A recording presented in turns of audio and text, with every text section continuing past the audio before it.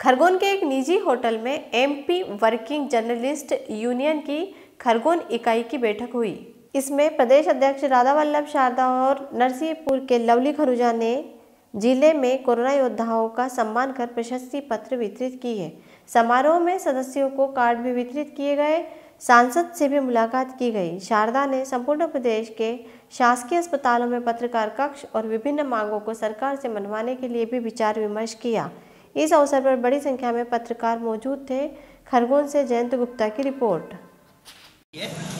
और उन अखबार बांटने वालों की ज़्यादा रही है जिनने इस पी, इस पीरियड में भी जाकर घर घर समाचार पत्र भेजा। उसके बाद नंबर आता है पत्रकारों का जिनने हर गाँव शहर गली मोहल्ले की और कोरोना के ऊपर अपने समाचार अपने समाचार पत्र मालिकों को भेजे बधाई के पात्र हैं।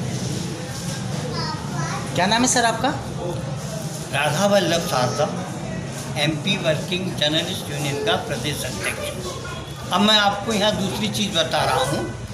मैं सिर्फ़ कोरोना के समारोह के साथ अन्य मेरा जो उद्देश्य है, उसको लेकर भी मैं यहाँ आया हूँ और ये मेरा पहला, मेरी शुरुआत है यहाँ खरगोन से।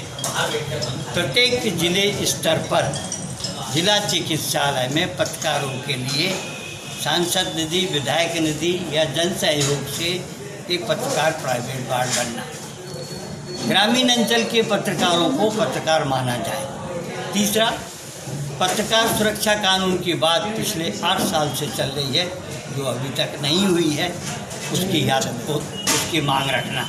यह मेरा मुख्य उद्देश्य है और इसी उद्देश्य से अब हमारा इसके बाद में पूरे प्रदेश के हर ज़िले में ये कार्यक्रम चलेगा, ये दौरा होगा।